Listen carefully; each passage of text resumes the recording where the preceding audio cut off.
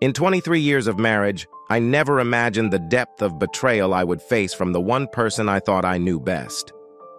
I have been a good wife to you, and I deserve a night with another man, she said, her words cutting through me like a knife. This wasn't just a breach of trust. It was a deliberate, calculated act that tore apart the fabric of our lives. The agony of her betrayal, the shock, and the subsequent unraveling of everything we had built together were almost too much to bear. This is my journey through betrayal and resilience. This is my story. Travis Wesley experienced the worst day of his life. It's not every day that your young, lovely wife of barely 23 years announces that she will begin dating other guys this evening. Travis sat calmly behind the kitchen table, clutching a glass of monkey shoulder whiskey for 10 minutes. He avoided touching the golden liquid. He merely sat there, staring straight ahead, not seeing or hearing anything but experiencing enormous sorrow on the inside. Travis understood that not even Alka-Seltzer could alleviate his anguish. He had heard stories about other men's spouses telling them that they were dating other men, but he always thought it was just an urban tale. How could a woman expect her loving spouse to agree to such a thing? Travis couldn't believe a lady could be so unconcerned about her spouse, so plainly selfish in her aspirations. Of course, this occurred on a Monday, but it was a pleasant day. And his company?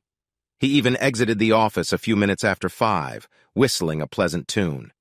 When he returned home, he was still feeling positive until he noticed his wife sitting at the kitchen table, pouring herself a glass of red wine and holding a glass and bottle of his favorite whiskey. He dropped his briefcase, poured himself a drink, and sat down in a chair. What is your secret, Lauren? Travis asked noting his wife's sneaky smirk. His wife looked him in the eyes and smirked. What he saw in her eyes made him apprehensive. He gave an anxious grimace. Do you believe I've been a decent wife and mother throughout the years? she asked quietly. Travis furrowed his brow. He knew his wife understood how thoughtful he was, and she could almost see the wheels spinning in his head before he said yes. I believe so. And what are you trying to convey with that? he asked calmly. Travis paused for several seconds, carefully considering his response. Do you believe they should be compensated for performing my responsibilities as a decent spouse and father? he asked. What type of question is that? Travis Lawrence snapped angrily.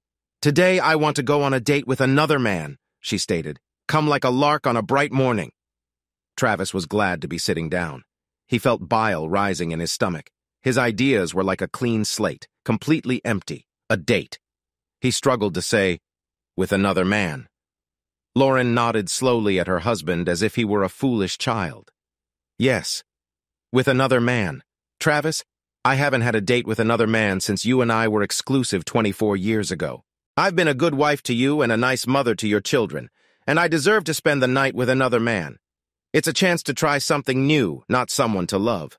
Nothing except bliss. I'm 47, and I can't keep my beauty forever. I want to try more men, but I'm still a desirable woman who can get them with the flip of a finger. Travis's lower jaw progressively fell. He knew he had read his wife correctly, but surely she couldn't be serious, could she? He did not even need to pose the question. Lauren nodded at him as if reading his mind. Damn, he mumbled as she rose from the table and walked up the stairs to her bedroom to change clothes. Lauren looked terrific as she walked down the stairs in a little black dress that virtually clung to her gorgeous figure in front. She had a cutout in the middle of her chest, and it was barely long enough to reach the middle of her thighs. The makeup was mild. A lovely woman does not require much, and her long blonde hair was pulled back into a high ponytail. The spectacle was incredible. She realized that her spouse was entirely hers at this point. And I will not let it happen, Lauren Travis said, rising from the table.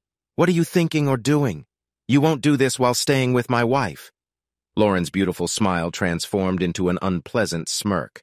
You will not ruin the evening for me. Trav, you can be challenging, but you know you are not going to divorce me because of this. Where would you find a woman like me if you let me go? Nowhere. You are already aware of this. The children will be upset at you for wrecking our family. Suck it up, Travis. Allow me to have fun for a few years, and then it will be just you and me again. We shall grow old together. You know you adore me. You do not want to be alone for the rest of your life. Why? Of males to choose from when the automobile siren sounded. Lauren took the tiny package and stepped over to Travis, attempting to kiss him farewell.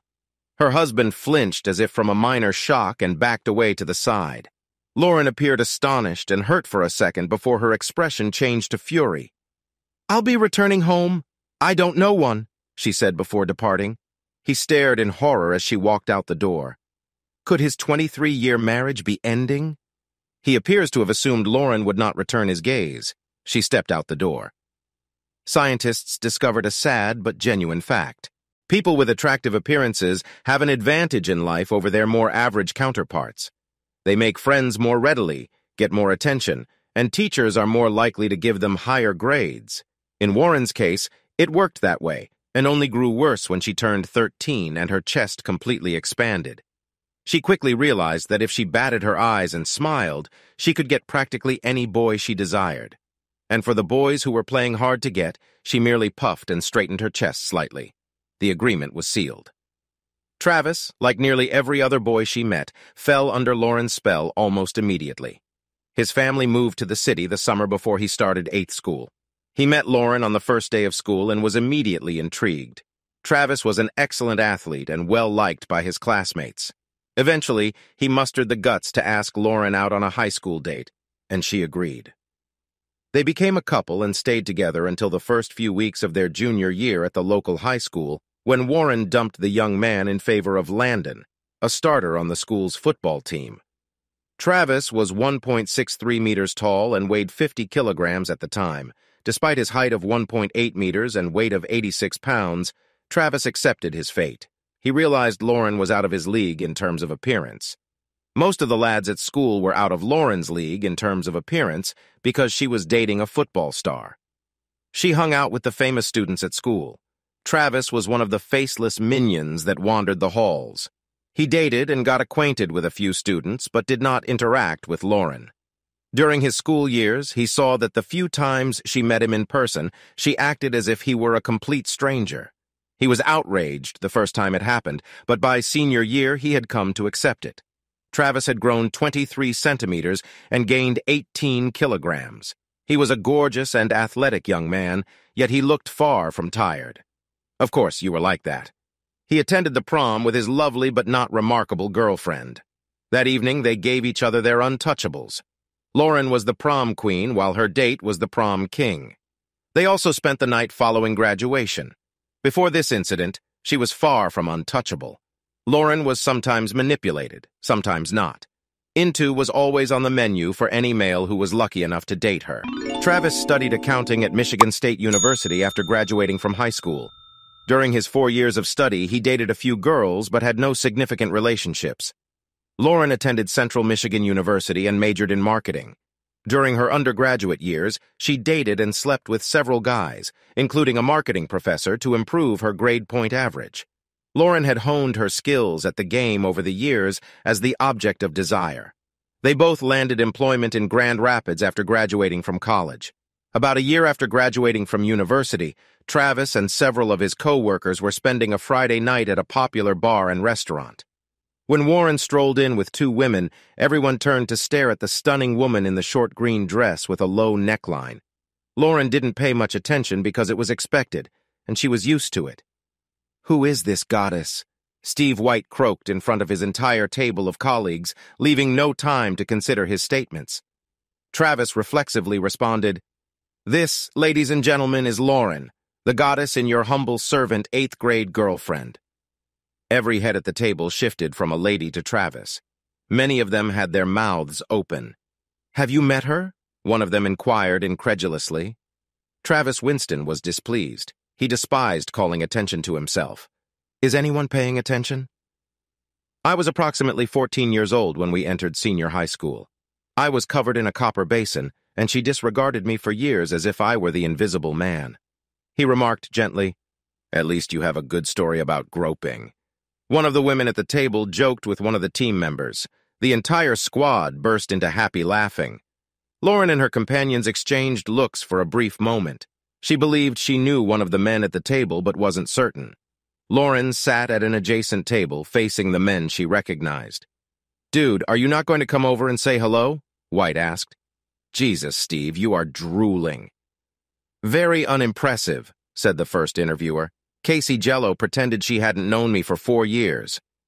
I don't understand why she remembers me now, Travis said. Several heads nodded in accord as they continued to examine the man eating her food. Then she snapped her fingers and pointed at the man. It is not good, Lauren, one of her friends said. If you gesture at someone at a restaurant, you could be wounded in some places. She totally ignored her friend's remark. I'll be right back, she announced. I need to say hello to an old friend. Lauren virtually leaped out of her chair and walked over to the table where Travis was seated. Traffic. Hello. Lauren approached him and exclaimed, I'm so glad to see you. Travis rolled his eyes at his friends before turning to meet his former classmate with a phony, pleasant look. Lauren, it's lovely to see you, Travis remarked, almost without emotion, rising to his feet. Lauren entered Travis's personal space and gently kissed him on the lips before laying her hands on his shoulders. His co-workers sat shocked. Travis was startled as well. Lauren noticed this and smiled at him with a not-so-innocent expression. She was very comfortable playing this game, and she knew he couldn't do it. Let's get to our table. I'll introduce you to the girls, she explained. She grasped his hand and virtually dragged him to the table. He spent much of the evening with Lauren and her two companions before departing. Lauren seized his phone, inputted her own number, and scribbled down his number for herself. Lauren was more than fascinated by Travis's seeming indifference to her. It had never happened to her before. He was cordial in the restaurant, but he spent as much time talking to her two friends as he did with her that evening. She kissed him on the lips multiple times, but he never returned the kiss. Travis's co-workers at the bar confronted him about his relationship with the goddess on Monday morning, and they were taken aback when he informed them he stayed there for approximately an hour before going home. She's impressive, but she's 14 levels higher than me. I understand, he mumbled. I don't need all of this grief. Travis was met with sorrow in the parking lot of his employment two days later as he was leaving. He grumbled to himself as he spotted his automobile waiting for him. Although he had to acknowledge that the address was one size too tiny, she appeared to be interested in monastic life. Why haven't you called Travis? she asked quietly as he neared her. Travis tried not to enlarge his eyes as he looked Lauren up and down, ravenous for his first meal in weeks. The low-cut top was unbuttoned all the way down, with a cleavage in the hem that ended about five centimeters below her crotch.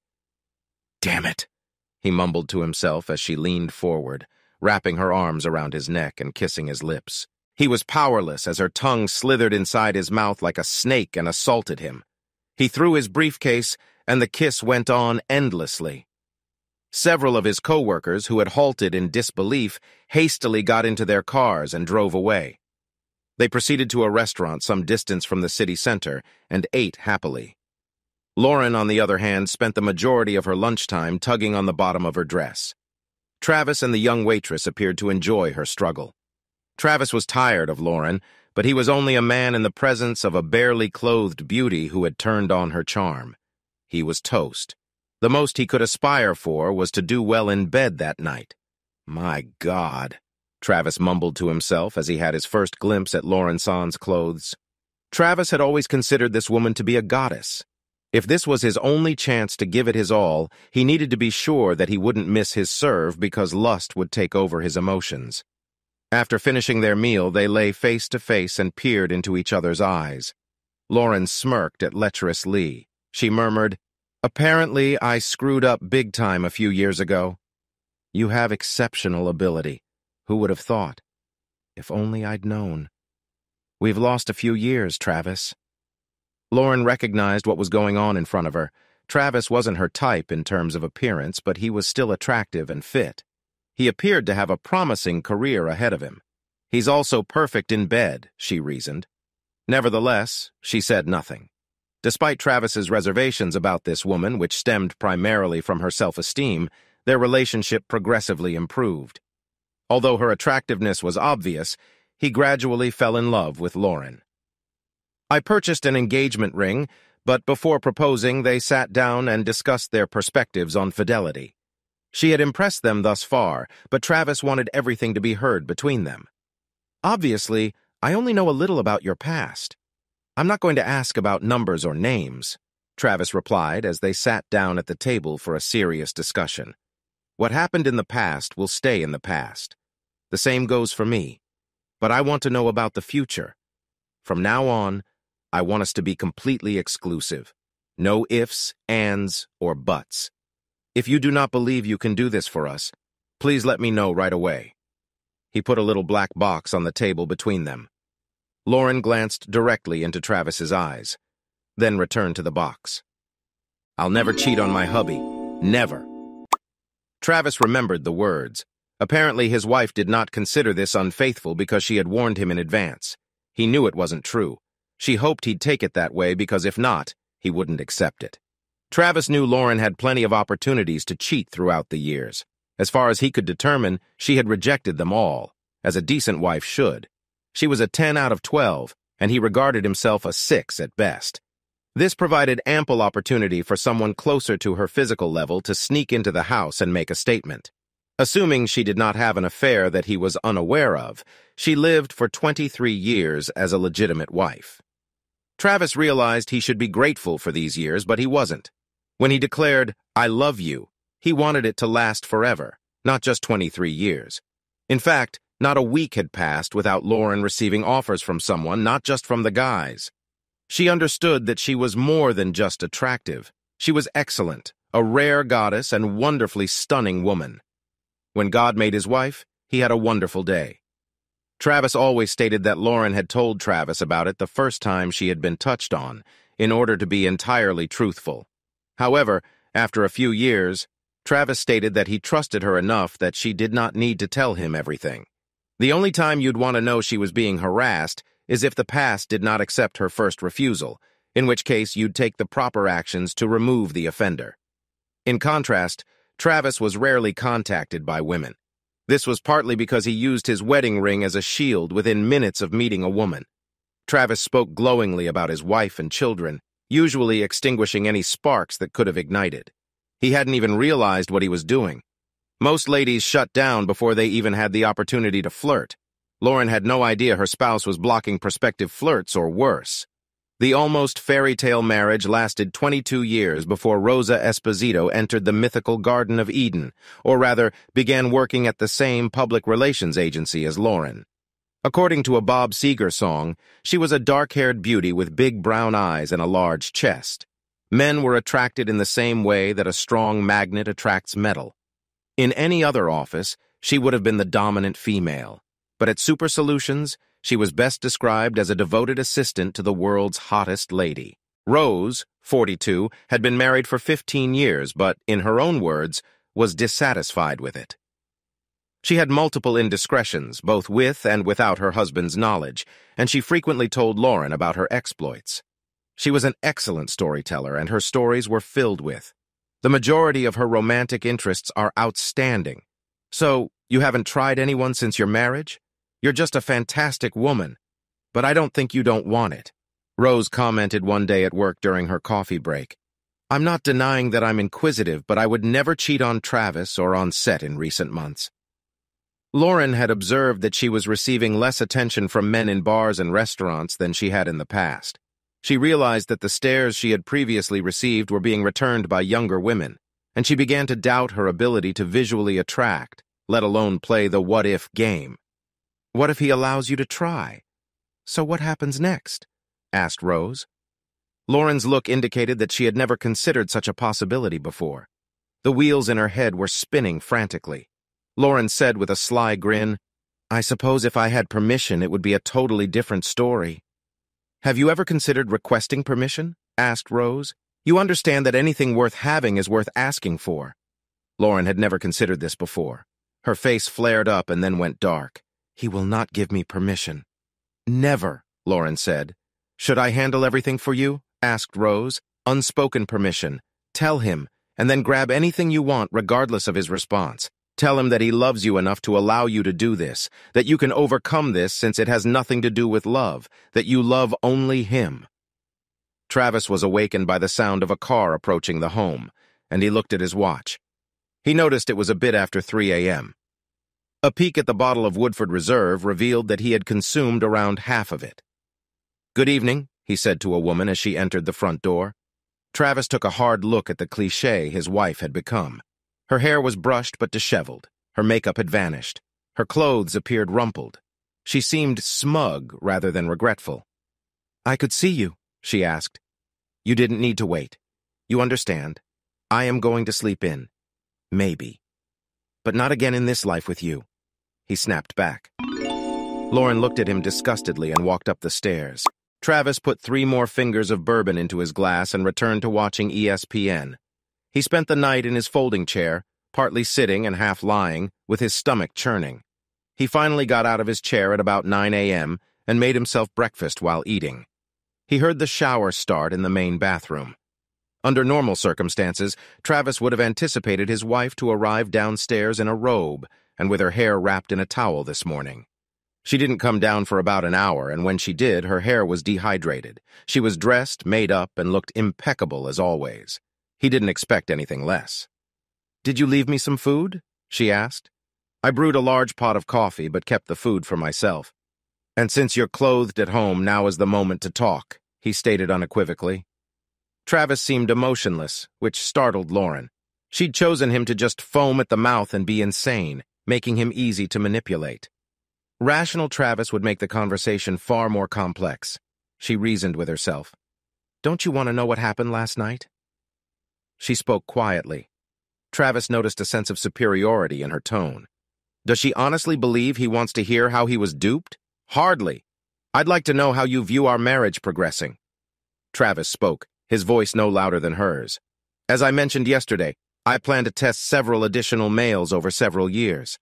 I only want closeness, no love. I only adore you.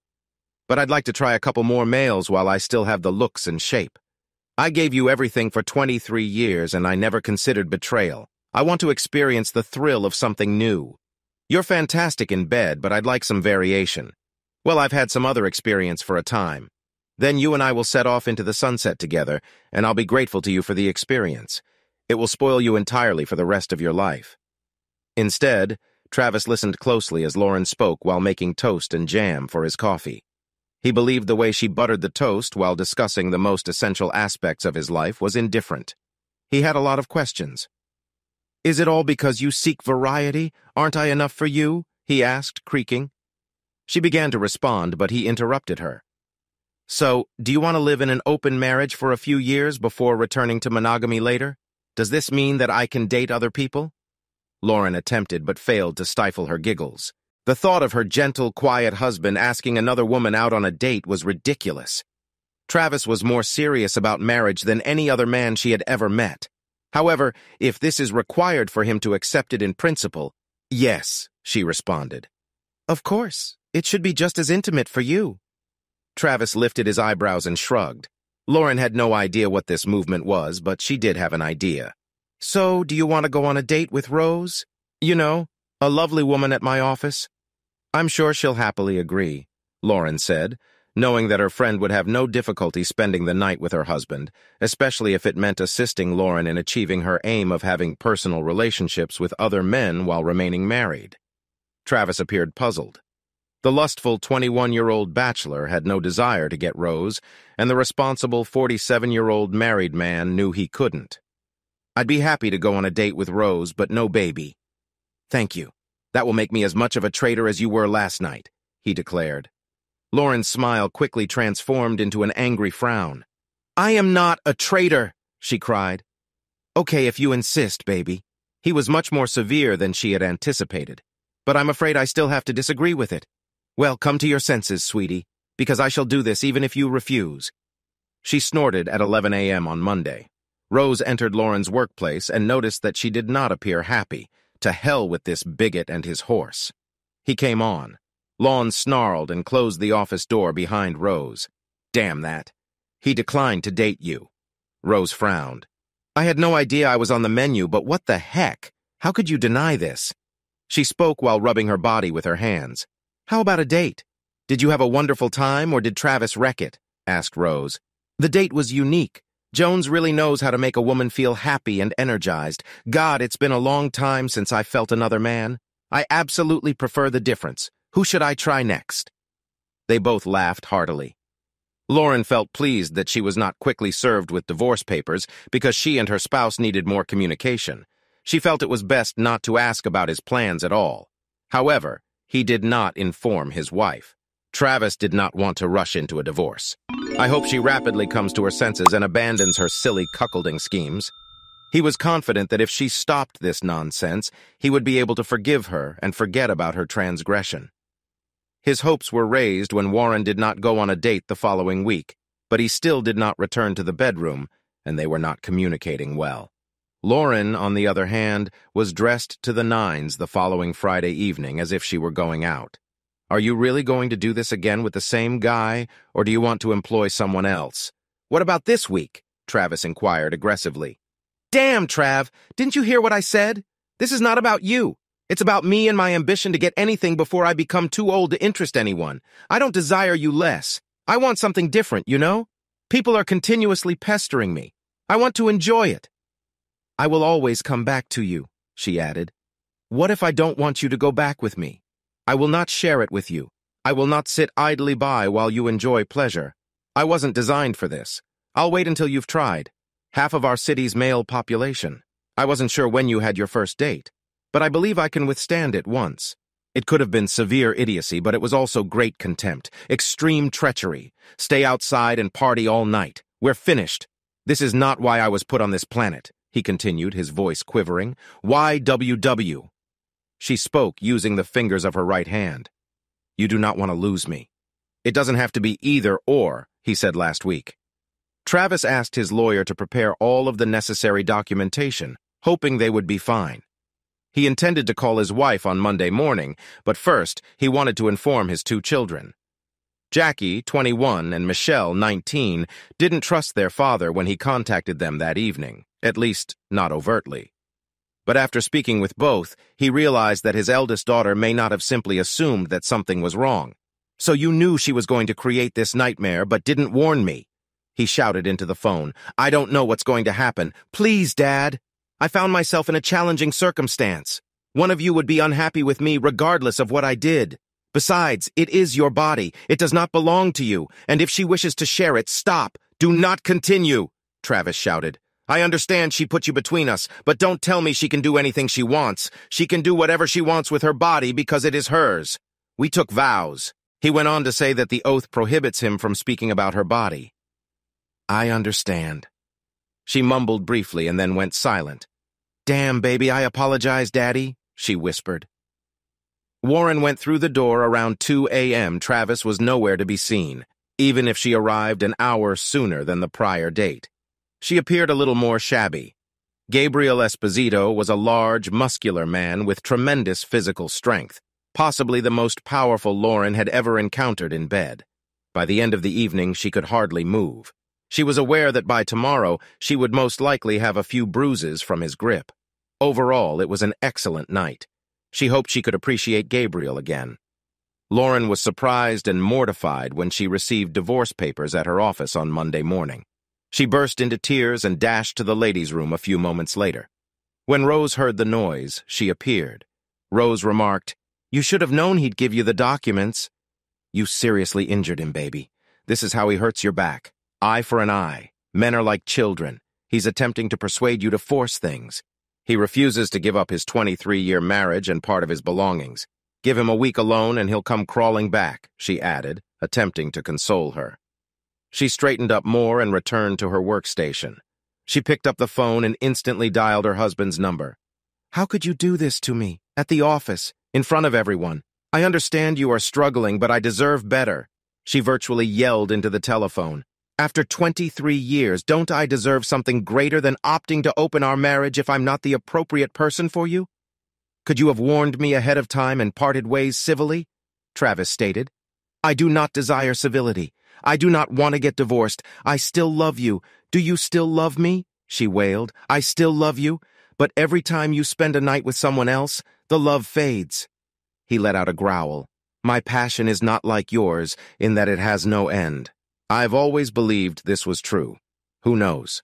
Perhaps we were both mistaken. Lauren struggled with her divorce. Her lawyer sought and got marriage counseling. Travis was fiercely opposed. Lauren grinned, and Travis grimaced as they were escorted into the consultant's secret sanctuary, where they discovered Lily and Carmack sitting on one of the chairs at the desk. Data on marriage counselors suggests that the majority feel their role is to reconcile divorced couples, with female counselors being biased in favor of women. The consultant started. Let's begin by rectifying the errors. Mrs. Leslie, let's start with the simplest thing. Did you honestly inform your husband that you plan to date other men for a few years? Travis did his best to keep the consultant from seeing his smirk. Lauren tried not to show the consultant how astonished she was. She considered lying, but then realized she didn't have a ready-made legend for the lie. Yes, yes. I informed him about it, and she responded softly. That is what I desire. I don't need him to do something for me. Our marriage will be unaffected by this. Well, we will end here, remarked the consultant. Sorry for wasting your time, Mrs. Wesley. I'll speak with the judge about this farce. Lauren started to stutter. Honey, if you believed what you did to your spouse would work for me, you were insane. You should feel embarrassed of yourself. But you obviously have no sense of shame. Honestly, miss, I feel disgusted, Calico explained. Over the next month, I called and texted Travis numerous times per day while he rented a modest apartment near his house. He did not respond to calls or text messages. She then appealed to their daughters for assistance, who called multiple times. Dad, you know you still adore her. If she stopped dating other guys, would you give her another chance? Michelle inquired on one of the calls. So, does she continue to do this even after I have served her? Travis asked with a shaking voice. He received just quiet in answer. That was all the response he needed. Michelle did not call again or ask him to try again. Travis was startled by how rapidly word spread about his imminent divorce, particularly among unmarried women. Several ladies at his workplace, as well as several women who were friends with him and his wife, conveyed their condolences about his marital issues. He was astute enough to recognize that not all of their condolences were selfless. Connie's mother, his wife's lifelong friend, contacted her to express her sadness over Travis's situation. She almost immediately provided him a shoulder to weep on, not just any shoulder. Travis was taken aback by his wife's close friend's open sexual advances. Throughout their years of friendship, the divorced woman never took a hard look at him. I would never seek my friend's husband. It's simply wrong, she informed him. However, now that you are free, the rules are different. I'm letting you know I'm interested in you. I am shocked. I am flattered, but I am not yet a free man. Carney and I will only date once our divorce is finalized. Travis stated, I know I'm being stupid, but I'm not going to cheat. You are such a Boy Scout. Travis, this is one of the things I enjoy about you. I've always enjoyed it. Can you at least set me up on a date when you're free? Connie asked. Of course, Travis answered. But I don't want to come between you and Lauren. You have been pals for many years. I appreciate your sensitivity, but just because it's foolish doesn't mean I should pass up on a friendly individual. I wouldn't have thought twice if you were simply some random man I met, Connie said. I'll call you when I remove the leash. Travis made a joke. Connie was a five-foot-tall Asian beauty with a toned figure and waist-length black hair, which Travis considered one of her best features. He admits to himself that he was shocked by the woman's interest in him. Travis kept his word and called Connie on the day his divorce became legal. On Saturday evening, they headed to a restaurant before going to a jazz club. Connie observed how Travis was feeling and commented on it. He said, I feel like an inexperienced 15-year-old. I haven't had a date with another woman in almost 26 years. Don't tell me the protection in your wallet is the same as on your previous date with Lauren, she joked. Should I have gotten some protection crap? I didn't think about it. Well, I'm a newbie, Travis said at the conclusion of the evening. Connie gently kissed Travis on the lips. They both felt wonderful after their date, and he vowed to call again. Travis didn't think much about taking off his wedding band on the day the divorce was finalized. Still, it was a significant thing for unmarried women. He notices the vacancy on his ring finger. Several female employees took note and commented on it, and the amount of flirtation in his office escalated dramatically. This was new to him. One day around lunch, he informed his best friend at work about it. There are many gorgeous women in this office. How had I not noticed this before? Travis asked. You, my friend, were a terrible, henpecked man, Robert Ardo stated. You were so in love with this woman that you didn't see other women as intimate creatures. I mean, she is undeniably attractive. But you allowed her to put your courage in her handbag. And perhaps it was part of the problem. She is always being checked for value, and you are so schooled, with such a frequency emanating from you, that not a single lady glanced at you in the first month after your divorce, in the first month following the divorce. Travis went on four dates, including two with Connie. He hadn't had sex with any of the three women he had dated, but that wasn't his purpose. In the second month, he was still in high demand, sleeping with two different ladies. Travis's daughters, who have spent more time with their mother than with their father in recent months, have heard or repeatedly stated that while she can have almost any man with the snap of her fingers, their father is an ordinary man in his 40s who struggles to find a mate, let alone a permanent girlfriend. They started to feel sorry for their father. One Saturday morning, roughly two months after the divorce, they went to his apartment uninvited. Travis was upset that he was woken up at 8.36, especially after he had entertained his partner until late the night before. Sonia, a busted 25-year-old girl, was the daughter of a friend who required a dependable male for a wedding celebration. The evening was so enjoyable that the pair decided to end it at Travis's apartment. She was resting in his bed when he opened the door wearing a robe. What? He questioned, pushing open the door to see his girls smiling as they held bags of bagels, smoked salmon, and cream cheese. Hello, father. Could your two lovely daughters come over for breakfast? Jackie spoke as the pair entered the house. Travis kissed them both on the cheek before leading them to the kitchen table, where they emptied the bags they had brought with them. They had just finished soaking the bagels when they emerged from the bedroom. They were wearing one of Travis's white shirts, half-buttoned, and most likely wearing nothing else. Sorry, darling, I didn't realize you were expecting guests, Sonia remarked. Mom mentioned that you were your own boss. No, Sonia, these are my daughters, Jackie and Michelle, he added, pointing to them with their respective names. We went for a brunch bagel with salmon. Sonia giggled, allowing her vast chest to quiver beneath her shirt. She brushed across Travis's arm before sinking onto the chair next to him. For a while, the four of them made regular small conversations before Jackie inquired whether Travis had recently communicated with Lauren. For the first time in days, he believed that being around Sonia made it nearly impossible to remain sad, even if she was a touch rough for his 48-year-old physique. Michelle added, I have to tell you, Dad, we thought you were already missing Mom.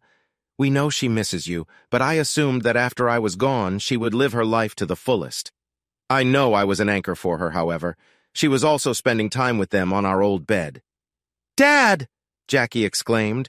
Sonia giggled, and Michelle frowned. She's not a ledger, you understand?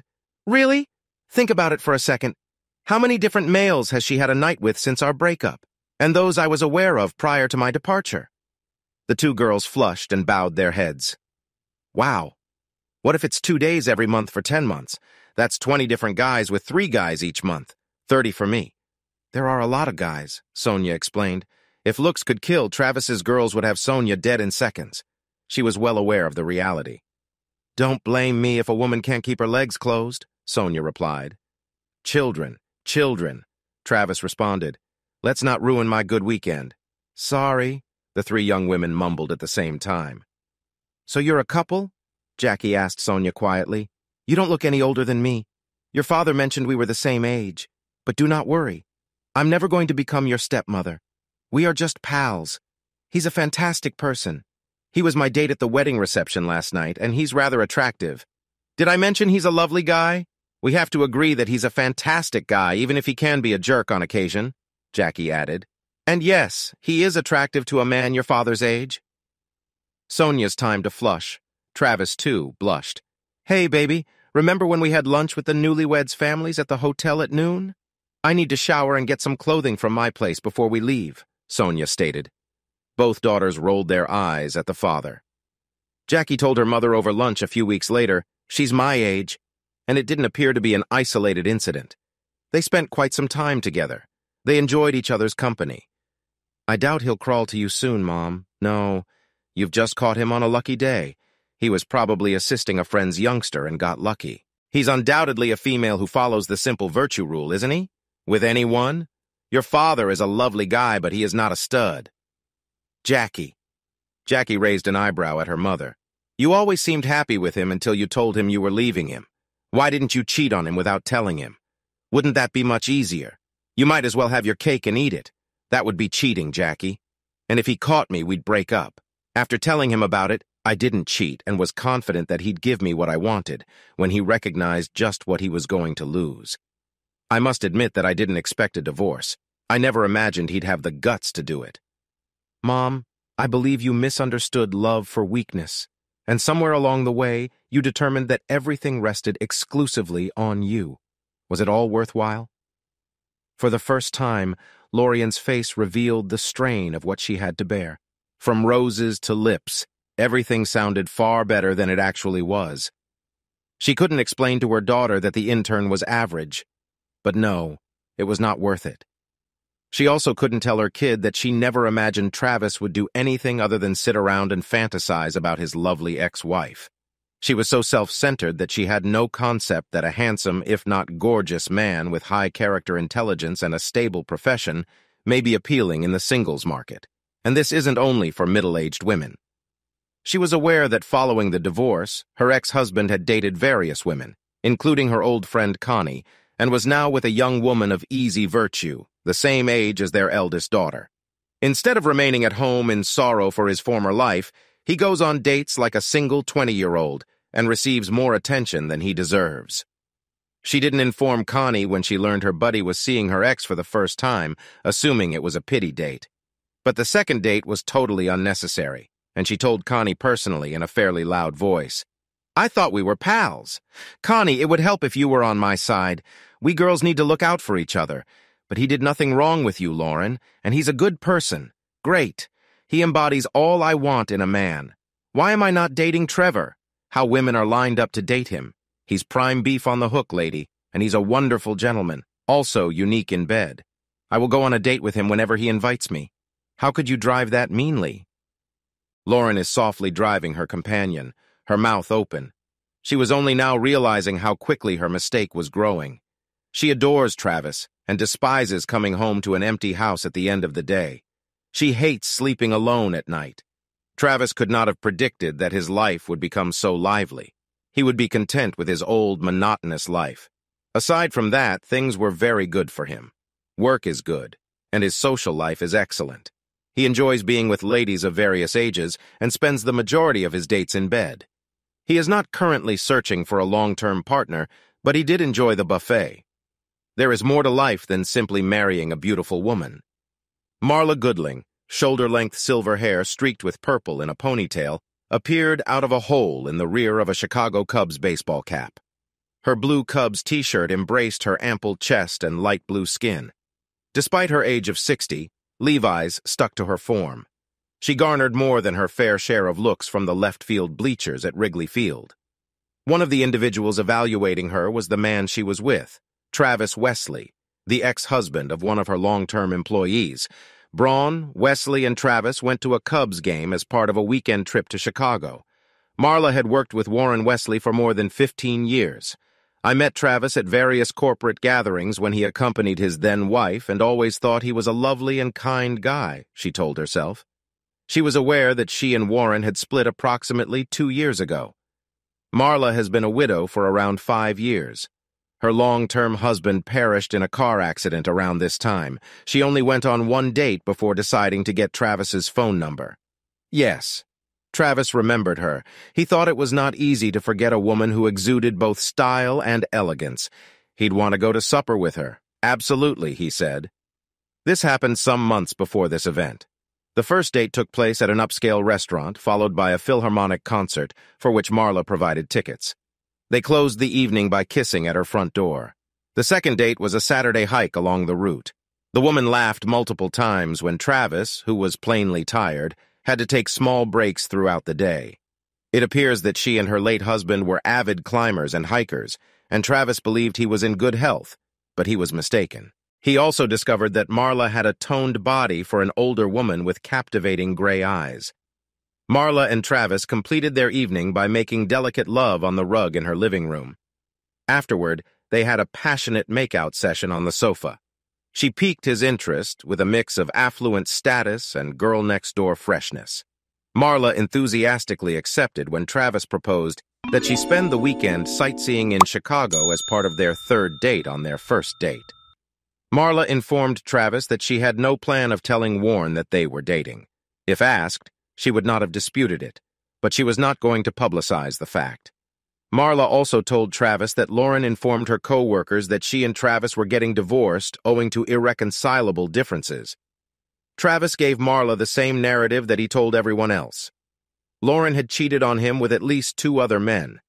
He didn't elaborate any further in the two years following his divorce. Travis has had multiple deep connections and lived an incredible intimate life. All of Travis's partners thought highly of him, and some hoped that they would be considered when he decided to trust women again and marry. Lauren worked in a different direction, as she informed her then-husband before their first date. She was merely looking for fulfillment while still possessing the looks to entice practically any man. She was not looking for an emotional relationship like the majority of her lovers. This significant contrast between the two ex-partners would be problematic for Jackie. She and her mother were busy preparing for the approaching wedding, which your father was gladly paying for, and she informed her daughter that she believed both parents should attend the ceremony unaccompanied to reduce tension. Jackie readily agreed with this concept, which she shared with her father over lunch that same week. Does this beautiful idea come from you or your mother? Travis inquired harshly. I intend to bring a lady with me. I'm paying for this holiday and I'm going to have a great time with the one I get. Hell, I've been taking dance lessons for about a year ever since you revealed your engagement. Have you taken your dance classes seriously? Only for my wedding. This is really cute. But, no buts, Jackie. She does not have anyone close enough to invite, so she is attempting to put pressure on me. Again, she acts selfishly and attempts to exploit the situation to her advantage. Sorry, sweetie, but I will not be attending my daughter's wedding without a date. If you don't have the bravery to tell her, I will. She can go on her own. Alternatively, she may take a gentleman with her. That is her business. I will bring the lady with me, Travis stated. I get it. Dad, I'll tell her. Your point is valid, and I would really like to see you dance. Could you still bring someone older than me? I can do it, sweetie. But you really should see how Sonia and I dance. Travis grinned broadly, and he received a broad smile in return. Travis Carney accompanied them to the wedding. Travis thinks she looks lovely in the green dress he paid for. They called because he purchased the dress. Travis explained to the woman that because he was the bride's father and would be dressed in a tuxedo, she required a new dress, which she would gladly purchase. And yes, I understand that shoes are necessary, he informed her with a massive smile on his face. Walking his eldest daughter down the aisle was both the best and worst experience Travis had ever had. Travis noted to himself that everything the other fathers had said about what would happen had been accurate. Nonetheless, it was a beautiful day. He, Carney, and his children enjoyed themselves and danced till late at night. The sole point of contention on this day was the appearance of his ex-wife with her own gentleman. Not that Travis cared, but the guy spent the first half of the ceremony smiling at Travis. The second half gazed at and groped ladies like an annoying drunk at least until Jackie requested her mother to remove the visitor. Lauren, clearly humiliated, apologized loudly and immediately hustled the man out the door, departing with her date. Lauren nevertheless took the time to accompany Carney to the women's restroom. You're the one who stole my man, she told Carney when they were in the restroom. I apologize, but I have never stolen a man from anyone, Carney said. He divorced you before we were even dating. You have no one to blame for this. Divorce yourself. He's truly an extraordinary individual. Lauren's face became purple after a cheap night out. Her eyes, which had been fixed on the woman, suddenly darkened.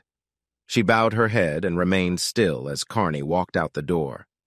Carney never spoke to Travis or his family since she did not want to ruin their great day.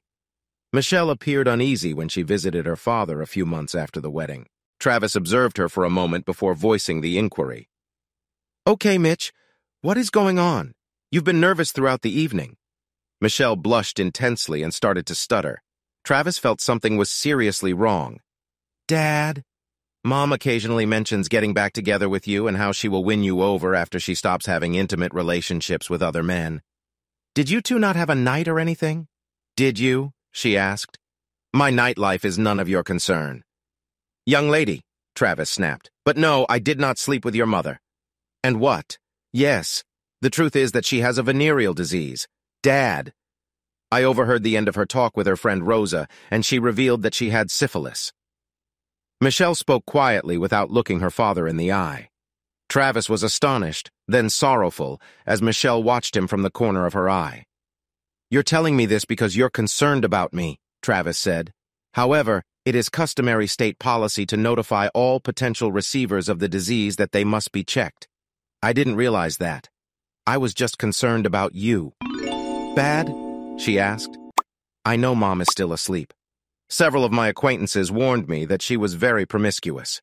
It's always embarrassing when a friend tells you your mother is perfect. A few days later, Travis received an uncomfortable phone call from Mara. He knew almost once that she was worried about the same things Michelle was, but she was plainly concerned about her own health.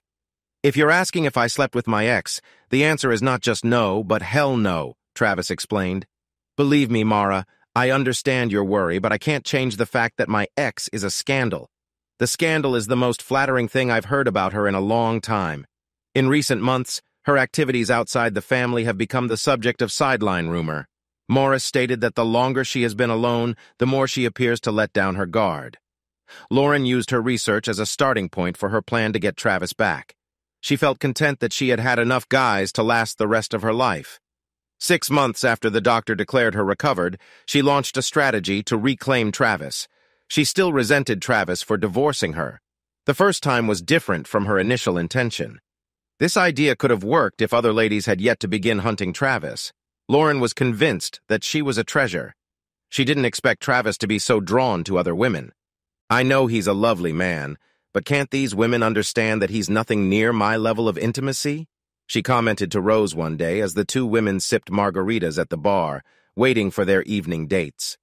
Rose encouraged her pal towards her current lifestyle. She thought Travis was attractive, but she misjudged the depth of his personality, mainly because he always obeyed his wife.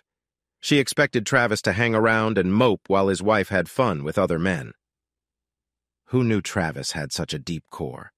Lauren and Rose had been keeping an eye on Travis since Lauren issued the request. And in fact, his post-divorce life was nearly as intense as Lauren's. If Lauren had been more honest with herself, she could have admitted that her ex-husband's private life appeared to be far more emotionally satisfying. The voice on the other end of the line took Travis entirely by surprise. He last communicated with his ex-wife nearly two years ago. One of his daughters must have given her his new mobile phone number.